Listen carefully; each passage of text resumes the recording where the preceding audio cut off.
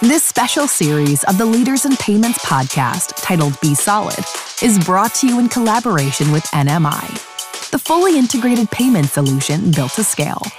In this six part series, we're going to discuss the embedded finance revolution, why it is so powerful and growing exponentially, and where it is heading. Most importantly, what does it mean to your business, whether you're an ISV, ISO, PayFac, or bank? In a world of squares and stripes, be solid. So, if I think about our industry specifically, the core workflow that our customers do is they buy equipment, they buy blank goods. So, in our industry, that means blank t shirts and ink and all the other things that go into making a decorated shirt. And they have to pay for labor. And these three things have to come together before, really, in many cases, they're even collecting revenue or the majority of their revenue. But their biggest one time expense is really usually around equipment. And so for us, lending is incredibly important. I'm no macroeconomic or banking industry expert. I'm sure everybody hears the same headlines I do. What I know is that it's very hard for small businesses to get capital these days. And because we have data, because we know they have a reliable source of income, we've been able to provide embedded lending as part of our platform. And we've seen a very strong uptake among our customers who need access to capital, who have real business opportunities.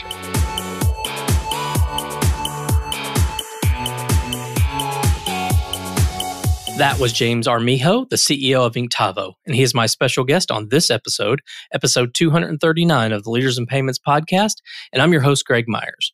As we continue our deep dive into the Be Solid campaign brought to you by NMI, James and I discuss his company, Inktavo, and we take a deep dive into embedded finance. Inktavo is a vertical SaaS software company that is in the branded merchandise industry. Think screen printers who take blank t shirts and add a graphic or a design. They have already embedded both payments and lending into their software platform. If you're interested in hearing about how a vertical SaaS company views embedded finance, this is the episode to listen to.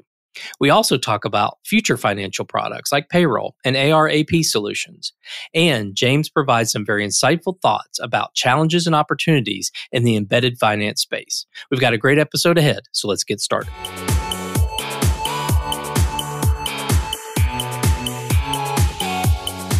Hi, James, and welcome to this episode of the Leaders in Payments podcast, where we're going to be doing a deep dive on embedded finance. So, welcome to the show. Thanks for having me, Greg. Absolutely. So, why don't you tell us a little bit about your current role at Inktavo and a little personal and career background about how you got there? Yeah, absolutely. So, I am CEO at Inktavo. I've been with the company a little over a year now. Prior to this, I worked in a number of roles. I actually started my career in finance, pivoted out of finance when I realized that spending 16 hours a day in a spreadsheet probably wasn't going to be the thing that brought me a lot of career satisfaction. So spun out of that role and, and went down a career path that was focused largely on marketing, sales, and customer success at a variety of SaaS businesses that served primarily small business customers. So in my early days, I was at a company called 8x8, which provided hosted phone solutions to small businesses. Then went to a company called Kareo, which provided software to doctors' offices. Then to a company called PatientPop, which had a similar business model to Kareo and then on to a company called SmartCare, which provided software to daycare centers, and of course now at Inktavo. And along the way, I got exposed to payments. So I've kind of seen the transition over the last 15 years of how embedded payments works at a variety of different SaaS businesses serving a variety of different end customers and had the opportunity to come to Inktavo, which serves apparel decorators, uh, uh, small businesses using a SaaS solution to make their businesses better, very much in line with things that I've done in the past and feel very passionate about.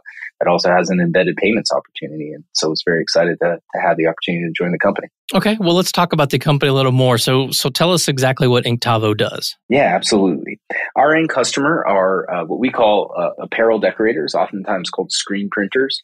These are businesses that serve generally the other small businesses and community organizations in their community, like churches and schools, and they provide decorated apparel, which to a large extent means T-shirts with something on that T-shirt. So you take a blank T-shirt, you put an image on it. It is obviously more expansive than that. It includes a variety of types of apparel apparel and other goods. Um, and of course, the the way in which you do that decoration can be embroidery, it can be printing. There's there's a whole variety of technologies. But at our core, that's the customers that we serve. Our goal is to be the all-in-one software solution for those customers. So they have some unique needs that are unique to the industry that software is best able to solve. That includes being able to come up with designs for all those images that their customers want. Creating web stores that allow them to sell products on behalf of their customers in ways that are very unique to how the industry works. And then ultimately to track those orders through the production process. So scheduling them on pieces of equipment, getting them put in boxes, getting them shipped or delivered to the right location. And we serve all three of those verticals with our uh, integrated software solution. Okay. And what would you say differentiates you in the marketplace today? If you look at our industry, say two years ago, what you would have seen, if you remember, I described those kind of three vertical solutions that all of our customers need. You, what you would have seen were companies that were really good at one of the three, but not at all three. Our vision was to, to become the all in one platform. And we did that by merging Printavo, InkSoft, and GraphicsFlow into a single organization. Each one of them specialized in one of those three things. So we are now differentiated insofar as we are the all in one platform. We have all the features that the customer might need. But I think what's also really great about our story is that we've stayed very true to our understanding of who our customers are and the founder led focus that all three of those companies had. So all of our founders are still part of the business, still very much involved in how we do product development, customer outreach, and education. And we've built on that by also building a really strong thought leadership program. So not only do we provide you this all-in-one software solution that's unique to your needs, but we're also going to help you as a customer understand other aspects of the business outside of just our individual software application that'll help you be a more successful business over time. Okay. Just curious, and it may have been a little before your time, but how did the whole pandemic? I mean, was that good for the industry, bad for the industry, or really saw no effect? It's interesting in that I think on net, it was good it definitely had an effect though. What happened was, so if you think about our industry, kind of diving just a little bit deeper, there are a number of sort of core purchasing workflows that exist. One of them, and one of the most common, is around schools and education and athletic programs. And in the old days, you know, think I'll use a very basic example. Kid's going to be on the football team. He's he's a freshman, and so the summer between eighth grade and freshman year gets an order form, and it says, okay, you got to buy all this stuff for for football, and oh by the way, do you also want to buy some sweatshirts from the booster program, and maybe you know send grandma a T-shirt too. All, you'd have this paper order form, he'd go home. Well, during COVID, that that no longer existed, and so there was this massive disruption to figure out how to digitize all of those types of purchasing, and that was generally pretty good for the industry. Now, the downside was all of the production workflows were built around getting those paper order forms in, right? And now you've got digital orders coming in in a variety of different ways. And you also have different fulfillment methodologies. So in the past, we'd have a big pep rally and all the boxes of all the stuff that people ordered over the summer would get delivered and people would pick them up. But now you've got to figure out how to ship them. And that also just created a lot more complexity. So now you have an online order form. And maybe in the old days, if you just came home with a paper order form, you didn't buy grandma a t-shirt. But now if there's an online form and you send it to grandma, grandma definitely wants a t-shirt with her grandson's picture and his, you know, football jersey on it. So now she's going to buy it. But now that means grandma's definitely not going to pick it up at the pep rally, even though the pep rally has come back. So now you got to ship something out to grandma. And so it created this just, you know, much more complex. I, I sort of joke we went from playing checkers to chess in, as an industry overall, I think that's good. But of course, in the short run, that creates a lot of angst and challenges and transition and kind of growth challenges for for many of our customers and for our software platform as well. Yeah, it's interesting. You don't you don't think about that industry as being so challenging or so complex, but you just explained it very well. It certainly can be. Sure. So we're going to talk a little bit about embedded payments and embedded finance, which, you know, just for the audience, you know, embedded finance meaning broader than just embedded payments. Embedded payments obviously a huge part of what software companies are doing and have been doing for several years now. So maybe start if you don't mind. Let's let's talk about the embedded payments part because you mentioned you you've done that a few times in, in your career. So maybe talk about that at Inktavo first and then we'll jump to maybe the bigger picture. So what doesn't Inktavo do around embedded payments? Sure. So today we offer embedded payments in a variety of different touch points. But if you think about our core offering, as I mentioned, one of the things we do is we stand up all of these e-commerce solutions. Our, our customers use our platform to create a variety of e-commerce solutions for their customers. And so embedded in all of those workflows are, of course, transactions that happen and we capture those. And so that, that happens. The other primary workflow around payments is we do have a lot of business to business transactions. So a very simple example, you know, the local restaurant needs to buy uniforms for all of their employees, they go to one of our customers. That transaction typically happens via an electronic invoice. And there's a different payment workflow that's built around that. Um, so all of those workflows we're supporting the embedded payments component as those transactions are happening. Okay. And I'm assuming you're monetizing those transactions. Yeah, absolutely. So pretty core, you know, I would say uh, it's interesting. I, I think back to my Kareo experience. We were an ISO at SmartCare. We were a PayFac. I, I've sort of seen all the different models, and of course, they have morphed over time we've gotten to a point where you know my my perspective on embedded payments specifically maybe as a subset within embedded finance i think you did a great job at sort of differentiating what those two mean even though sometimes they get a little confused in industry yeah. parlance. Uh, when i think of embedded payments i think of it a lot as like the utility coming into your house. You know if i think about my house i just want to turn on the light switch and have the lights come on I really don't want to know what turbine is being used and what gauge wire is on the transmission and all these other things, right?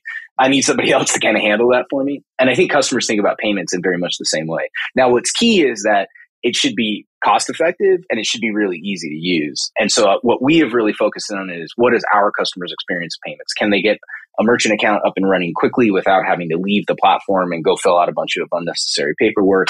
Once they get that merchant account provisioned, are their customers able to use all the different payment methods that they might want to use? And once they receive a payment, is that reconciliation remittance process really straightforward, easy to reconcile to their accounting system, to their bank account? And so that's the focus that we've really taken. And then behind the scenes, we have a great network of partners that are fulfilling a lot, some of which we do in house and, and, much of which we do through partners to, to make sure that that customer experience is as positive as it can be. Okay. Yeah. And I think where this has headed with, you know, a lot of software companies payments seem to be first for whatever reason, maybe because it's a, almost to your point, a utility. Companies have to have it. But beyond that, it seems like software companies have so much data on their customers and their customers' customers that then creating other financial products is starting to make more sense. So things like checking accounts and insurance and lending. So maybe let's step up a level to the embedded finance. Like, how do you view embedded finance in your world? Yeah, great question. You know, I would say it was interesting. Uh, a couple of weeks ago, I had the opportunity to go to a CEO conference for our investor group. Probably about 70 other businesses there. And we all have, we're all software companies. We generally all do payments, but we all serve a variety of different needs. And it's, you know, we were sort of talking a similar question.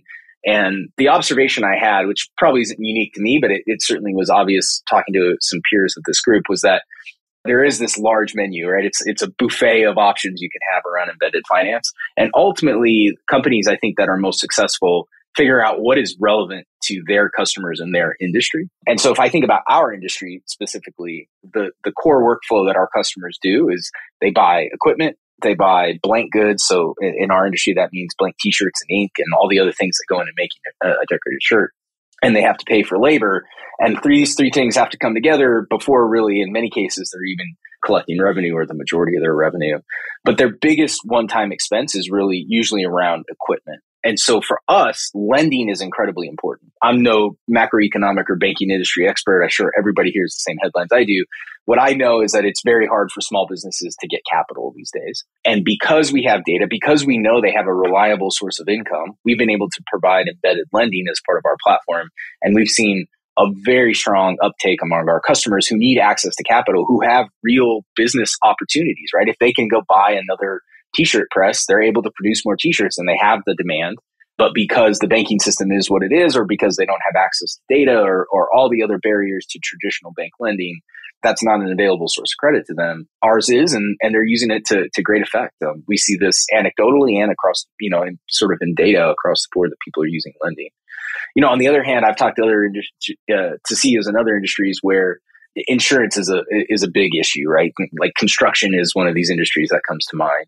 And so having the ability to have an embedded insurance product is, is, really important. In our industry, there's not a lot of risk in producing a t-shirt. So insurance isn't nearly as important and it's not, you know, as focal as, as, as it could be maybe in other places. But yeah, I think all of those options are interesting and, and really solving the needs of your customers is what's most important. So you've already embedded a, a, lending product into your platform. Correct. So lending is outside of payments is our, our largest kind of embedded finance solution.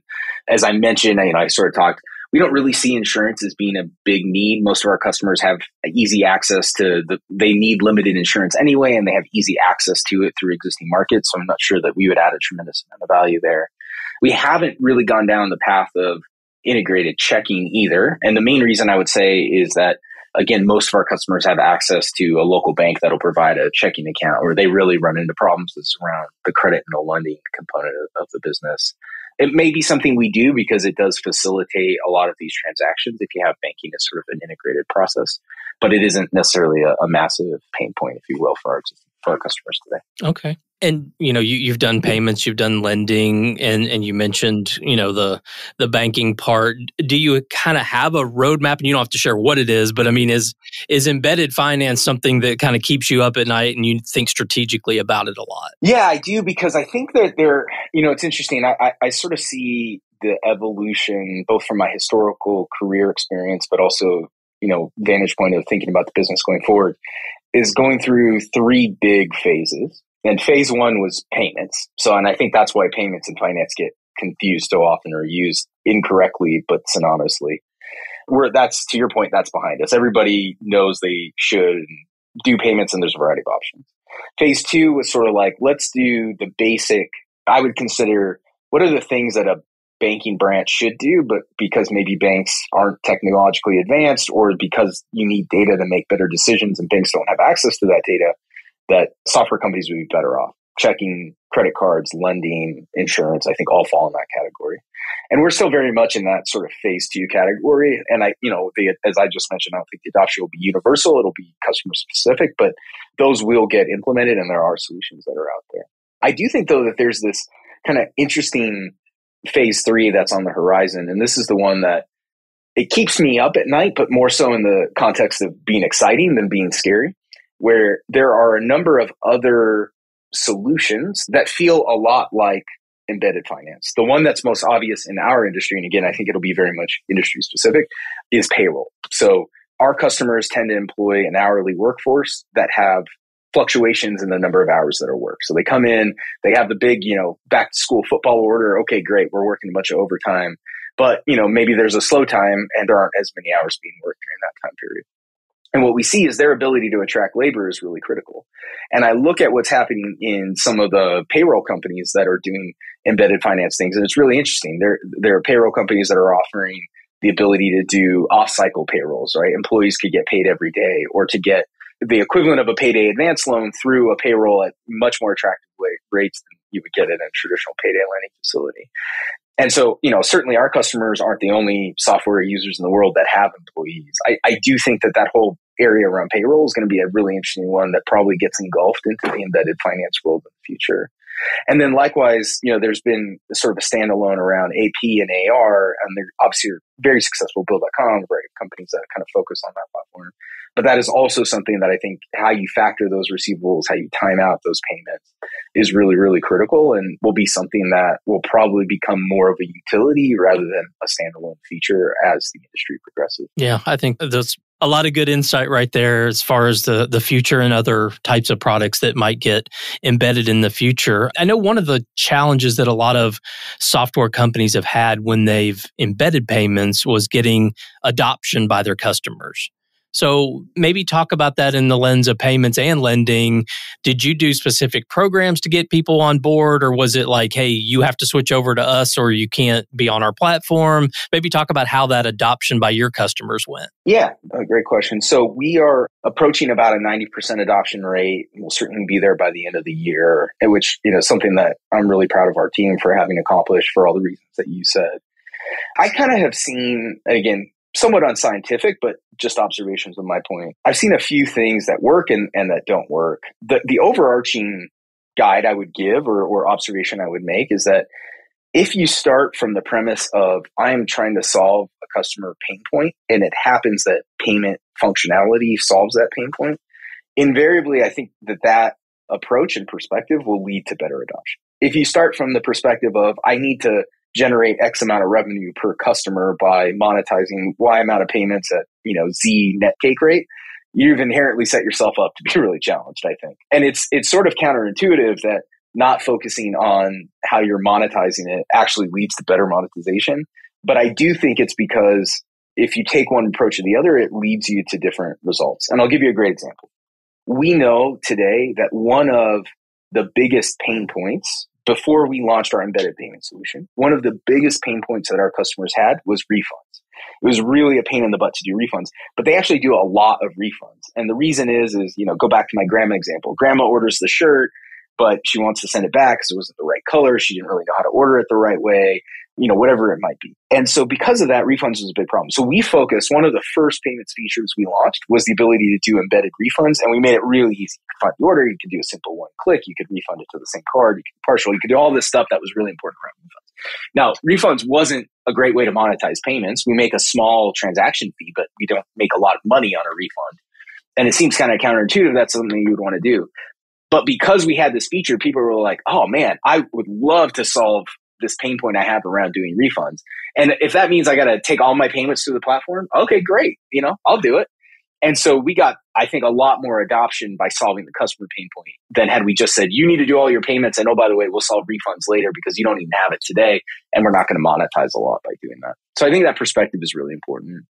The second thing I would point out is I do think that making it opt out versus opt in is critical. Every business I've ever seen that says you have to sign up something extra for payments is going to have a lower adoption. Some of that is just basic psychology, right? People don't like friction but also because it forces people to then consider their options. Think about, I go back to my electricity in my house. If I bought my house and then all of a sudden you said, oh, now you need to go select your electricity company. Well, I'm going to go shop for the best electric rates, right? Or maybe I'll put in solar because it's a better option. But if instead I buy my house and I just, here's the flyer that says, okay, activate your electricity. Well, I'm going to act- activate my electricity because I sure as heck don't want, you know, the family yelling at me that the refrigerator doesn't work.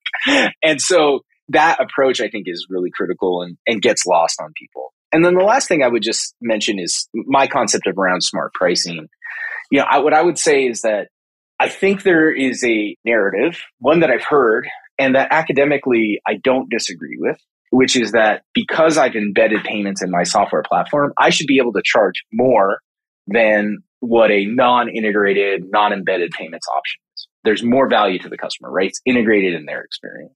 And so I see people price payments higher than than sort of generic, you know, competition in the market.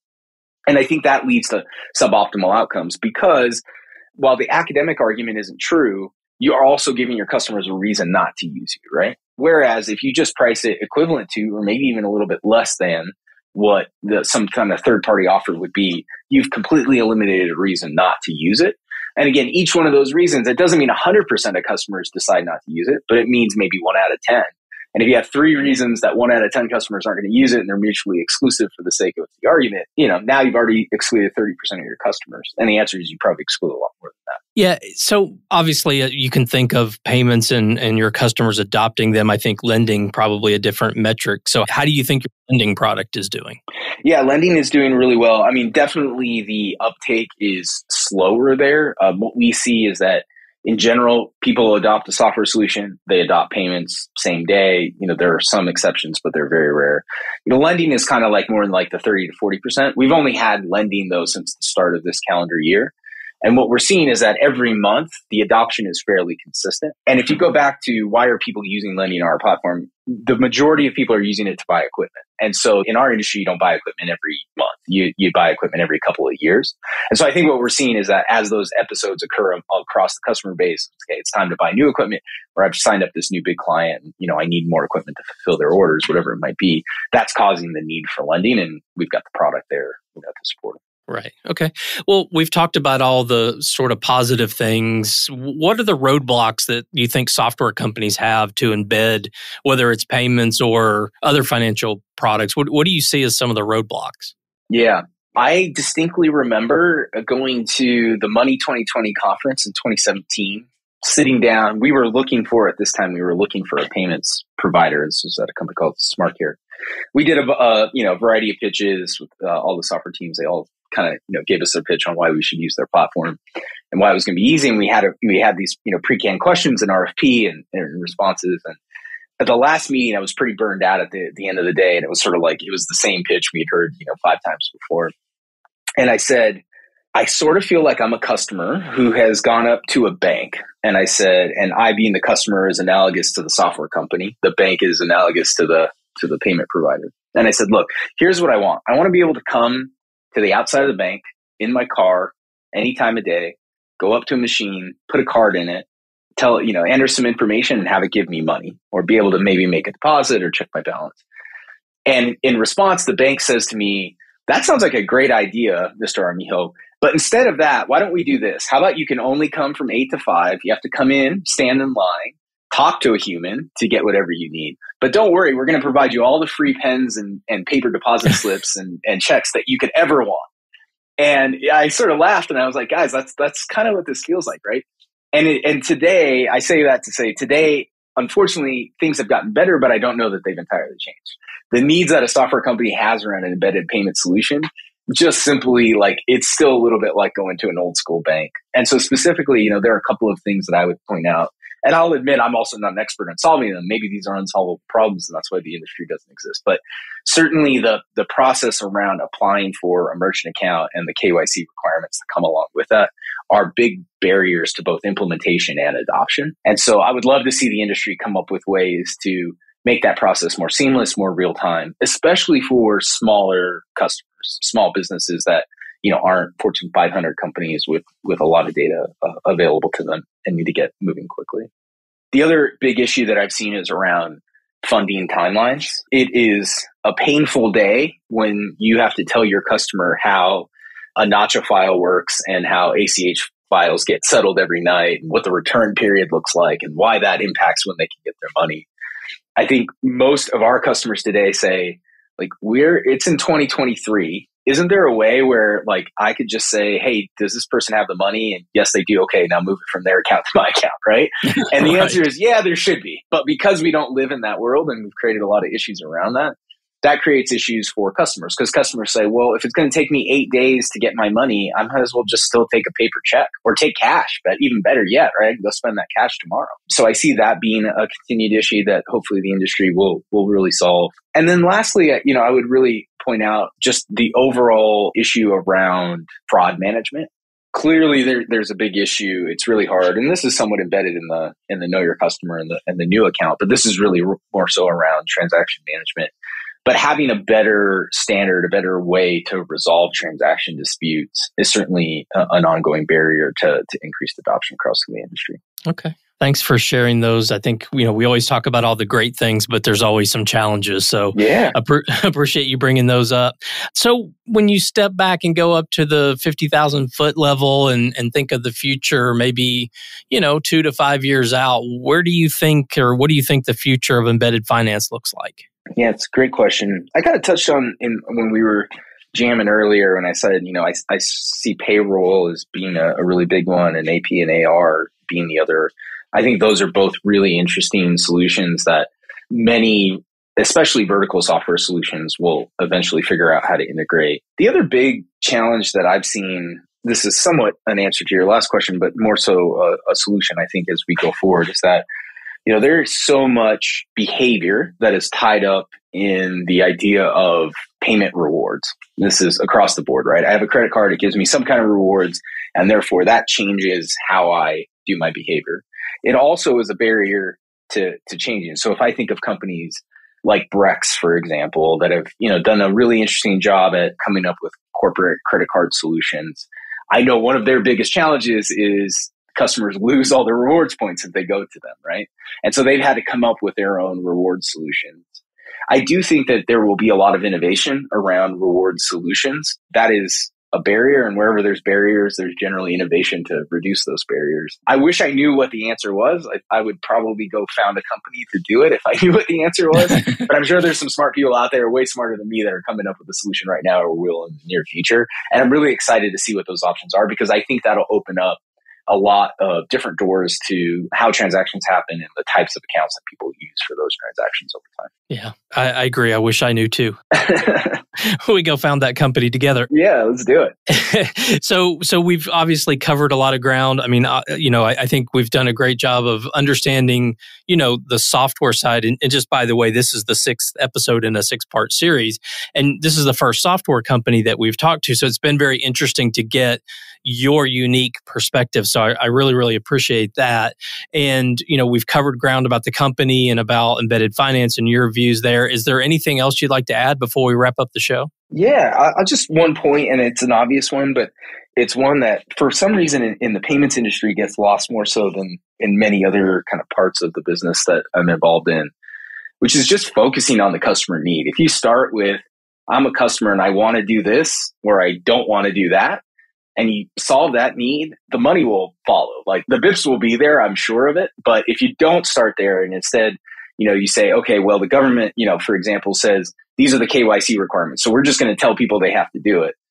Even though the, the you know, a customer perspective is, I'm going to get up and running on your solution quickly. I think if you start with, let's go solve the customer requirements and knowing we got to comply with all these other things that we need to do for sure, can't ignore them but we start with solving the customer need. I think as an industry we'll be better and that'll lead to all of these other solutions. I think, you know, within payments very specifically, that's a great opportunity. Certainly within the current offerings in, in a broader embedded finance world, like around lending, the example I used earlier, that's what our customers need. So that's what we led with.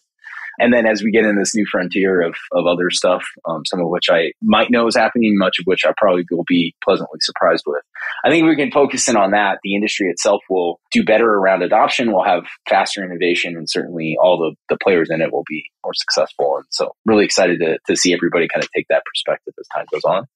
And lastly, I just wanted to thank you for your time. This has been a great conversation today and excited for uh, the future of the industry. Thanks, James. I know your time is very valuable, so you know I want to be sensitive to that. But thank you so much for sharing all your insights and you know all the great things that you guys have done there. So again, thank you so much for being on the show today. Yeah, thank you, Greg. Have a great rest of your day. You too, and to all you listeners out there, I thank you for your time as well. And until the next story. Thank you for listening to this episode in our special series, Be Solid, brought to you by NMI the fully integrated payment solution built to scale. For more information on embedded finance and this episode, please visit www.nmi.com slash resources slash podcasts. And remember, in a world of squares and stripes, be solid.